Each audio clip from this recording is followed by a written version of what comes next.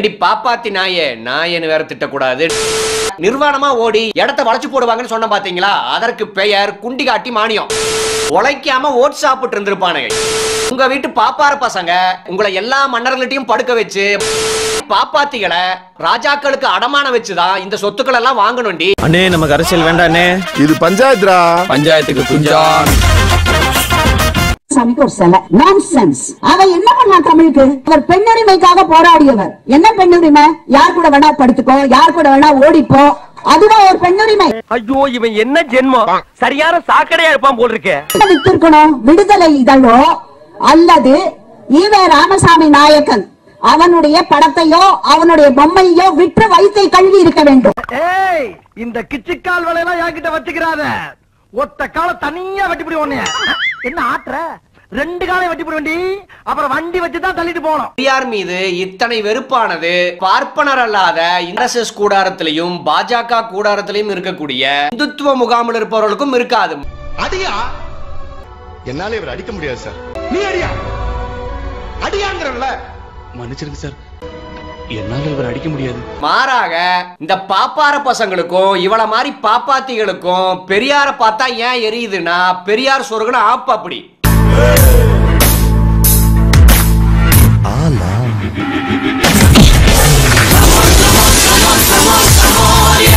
இது போன்ற பாப்பாத்திகளும் நாமளே பாப்பார பசங்களுக்கு அடிமையாக தான் இருக்கோம் அப்படிங்கறத உணராம இவளுக்கு என்னமோ தங்களை உயர்ந்த பிறப்பா நினைச்சுக்கிட்டு தங்களை பார்ப்பனரா நினைச்சிட்டு இது போன்ற வன்மத்தை கக்கிட்டு இருக்காளுங்க.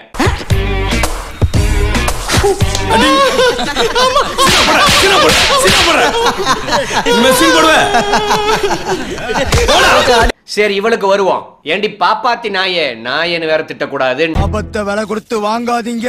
ஏன்? நீ என்ன ஆஃபர்ல வாங்கி தர போறியா?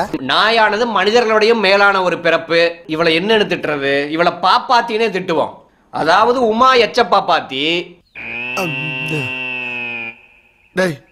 இவன் வேற என்னை ரொம்ப டார்ச்சர் பண்றான்டா. பெரியார பார்த்து இவன் என்ன கிழிச்சிட்டான் அப்படின்னு நீ கேக்குறல்ல. நீ உங்க பாட்டி வயசு இருக்கிறவங்கள அணுகி அவங்களுடைய மூதாதையர் ஒரு கதை சொல்லி இருப்பாங்கல்ல அந்த கதை என்னன்னு கேளு. எனக்கு என்னடா தெரியும்? கேளுடா. அந்த கதை என்னன்னு கேட்டேன்னா அதாவதுடி நம்முடைய முன்னோர்கள் எல்லாம் ராஜாக்கள் காலத்துல நம்மள மாதிரி பாப்பாத்திகளை ராஜாக்களுக்கு அடமானம் வச்சுதான் இந்த சொத்துக்கள் எல்லாம் வாங்கணும்டி உன்கிட்ட ஒரு மேட்ரு பேசணுமே? என்ன மேட்ரு உங்க அக்கால ஐயர் கூட அனுப்பிட்டுல நீ பேக்கரி வாங்கிருக்கியா தமிழ்நாட்டுல மங்களம் மங்களம்னு பேர் இருக்குல்லடி. அந்த பேரெல்லாம் எப்படி வந்துச்சுனாடி? நம்ம ஆத்து பாப்பார பசங்க நம்ம ஆத்து பொம்பளை ஆளுகளை ஒட்டு துணி இல்லாம ஓட சொல்லுவாங்கடி. அப்படி பாரு. சூப்பர் சீனரி இந்த சீண்டான ஊருக்குள்ள நடக்கவே இல்ல. இப்ப அது போகுதா? அப்படி நடத்துறமா எந்த சிரிக்க வராலும் நான் பாக்க சும்மா இருக்கிறே கொஞ்சம் வாய் வச்சுக்கிட்டு. அப்படி ஓடும்போது எந்த ஆத்து பாப்பாத்தி அதிக தூரம் ஓடுறாளோ அவ போய் நின்ன இடம் வரைக்குமே ராஜாக்கள் எழுதி வச்சாங்கடி. ஏண்டா தரித்திரம் முடிச்ச மூதேவி உன் கதை என்னடா காரி துப்புற மாதிரி இருக்கு. அடே சிரிப்பு வேற. அடியே இந்தியாங்கிறனால தாண்டி இந்த போஸ்ட் எல்லாம் பங்கஜ மாமி பங்கஜ மாமின்னு ஒரு மாமி இருந்தாடி. அவ ஓடின ஓட்டத்தினாலதான் நம்ம அஞ்சாறு தலைமுறையா இத்தனை நூறு ஏக்கர் வச்சுக்கிட்டு அடுத்தவனை ஏச்சு பொழச்சண்டி அப்படின்னு உங்ககிட்ட ஒரு கதை சொல்லுவாங்க. இவ்வளவு நாளா இது தெரியாம போச்சே. ரொம்ப முக்கியம். இதெல்லாம் உங்ககிட்ட சொல்லிட்டு மாட்டோம் பல தலைமுறைக்கு முன்னாடி நம்ம ஆத்து ஆம்படையாலாம் செத்து போயிட்டா நம்ம ஆத்து பெண்கள் என்ன பண்ணுவா அப்படின்னு கேட்டேன்னா சொல்றேன். மக்களுக்காக சொல்றேன். அதாவது உமா பாப்பாத்தி அப்படி யாராச்சும் கணவர் இறந்துட்டா அந்த பொம்படையாவை கூட்டிட்டு வந்து மொட்டை அடிச்சு மூளையில உட்கார வச்சிருவாடி. அக்கா தேரவே தேராது நீங்க உருப்படவே மாட்டீங்க. மாப்பிள!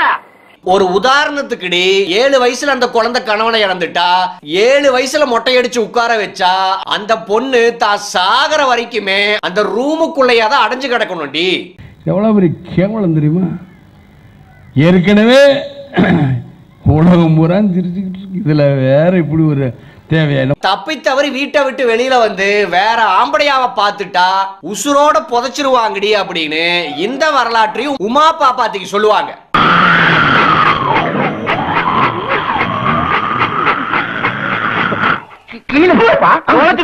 அடுத்த விஷயத்துக்கு வரோம். ஏண்டி உமா பாப்பாத்தி நீ வயித்துக்கு சோறு திங்கிறவளா இருந்தா?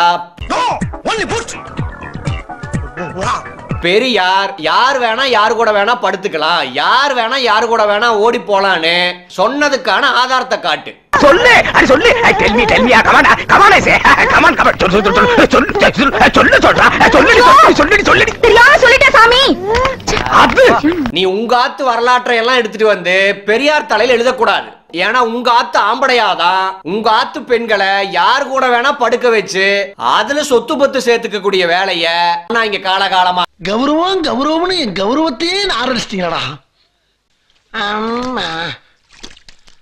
அம்- அம்மாப்பா. உங்க ஆத்து உங்க ஆத்துனா வெறுமனே இந்த உமா பாப்பாத்தைய மட்டும் நான் மென்ஷன் பண்ணல. ஒட்டுமொத்த பார்ப்பன சமூகமுமே இந்த மண்ணில் இப்படிதான் வைத்த கழுவுச்சு.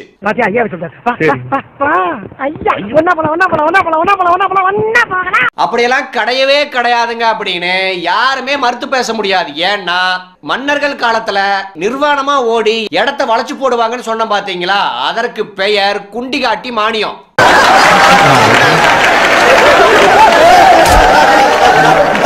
ஆக உமா பாப்பாத்தி நீ என்ன பண்ற? கூகுள்ல போய் குண்டிகாட்டி மானியம்னு சர்ச் பண்ணனா இதை பற்றி பல தகவல்கள் வரும்.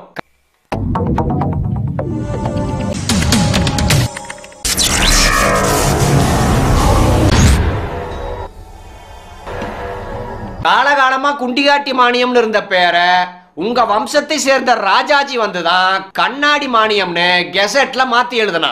தெய்வமே தெய்வ நன்றி சொல்வேன் தெய்வமே. மன்னர்கள்கிட்ட மானியம் காமிக்கிறதுக்கு எல்லாத்தையும் காமிச்ச இந்த வம்சத்திலிருந்து வந்துட்டு இன்னைக்கு ஒரு நாகரீகமான வாழ்க்கையை நீங்க வாழ்றீங்கன்னா அது உங்களுக்கு பெரியார் போட்ட பிச்சடி. என்ன பிச்சை எடுத்தாலும் அடிக்கிறாங்க? ஆமா அம்மா. அது என்ன பிச்சை எடுக்கிற வேஷத்துல ஆத்தாள் மகளும் இவ்வளவு கன்றாவியா இருக்கியே? இப்ப தெரிஞ்சுதா? ஒளிமயமான எதிர்காலம். அதுவும் நீதி கட்சியும் திராவிடர் கழகமும் எல்லாம் இந்த மண்ணில் உதயமாகாட்டி இன்னைக்கு வரைக்குமே உழைக்காம ஓட் சாப்பிட்டு இருந்திருப்பானுங்க.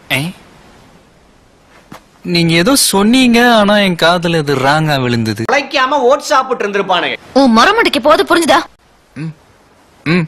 இன்னைக்கும் பெரும்பான்மையான பாப்பானுங்க உழைக்காம தான் ஓட் சாப்பிடுறானுங்க. ஆனா குறைந்தபட்சம் அவர்களை போட்டிக்கு இறக்கி விட்ட வேலைய பெரியாரும் திராவிட இயக்கம் தான் பண்ணுச்சு. அதனாலதான் இந்த பாப்பாத்துக்கு இவ்வளவு காண்டு. என்னது ஒரு பேச்சுக்கு சொன்னா உடனே நல்ல சிறப்பா பிக்கிறாங்க அதற்காகத்தான் ராஜாக்கள் மானியங்கள்லாம் கூட தந்திருந்தான் பிராமணனுக்கு வேற வேலையே இல்லை. காலம்பரை ஏந்துக்க வேண்டியது பகவன்னாமா சொல்ல வேண்டியது சரீர சுத்தி ஸ்நானம் சந்தியாவந்தனம் வேதாத்தியனம் அனுஷ்டானம் இப்படியே தான் இருந்திருக்கு அன்னைக்கெல்லாம் நல்லா மழை பெஞ்சு விளைஞ்ச நாடு தமிழ்நாடு அவனை சொல்லி நிறுத்துங்களேன்டா அவன் நிறுத்துற அந்த லூசுக்கு மட்டும் வந்துட்டே இருக்கான் போடுறா வர நிறுத்துற அவனை பைத்தியக்காரப்ப எதுக்குடா வரீங்க இங்கெல்லாம் இந்த பாப்பார பையன் சொல்ற மாதிரி களி முத்தி போச்சு ஓய். ஒரு காலத்துல உழைக்காம ஓட் சாப்பிட்டு இருந்தோம் காலையில எந்திரிச்சு சந்தியாவந்தனம் சொல்றது மட்டும்தான் வேலை. ஆக வேலையே செய்யாம தின்னுட்டு தெரிஞ்சுக்கிட்டு இருக்கிற. அப்படி பச்சையா சொல்ல முடியாது. ஒரு யூகமா சொல்லலாம். அன்னைக்கெல்லாம் நம்ம ஆத்து பெண்களை வச்சு கண்டதை காமிச்சு மானியங்களா வளைச்சு போட்டோம். ஆனா இன்னைக்கு அதெல்லாம் போச்சு ஓய். அதனாலதான் தமிழ்நாட்டுல மழை பெய்ய மாட்டேங்குது ஓய் அப்படின்னு அழுது உருள்றானா அதற்கு காரணம் பெரியார் தான்.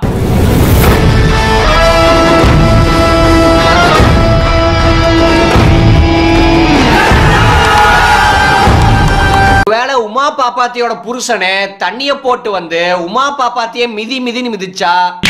நம்ம ஏரியாவிலேயே வந்து உயிர் எடுக்கிறானே. எதிர்கட்சிக்காரன் பார்த்தா என்ன நினைப்பான்? அவனை முடிச்சிடுறேன். உங்க வீட்டு பாப்பார பசங்க உங்களை எல்லா மன்னர்கள்ட்டையும் படுக்க வச்சு மானியம் வாங்கின மாதிரி பெரியார் ஒரு காலத்திலும் பெண்களை யார் கூட வேணா படுத்துக்கோங்கன்னு சொன்னதே கிடையாது.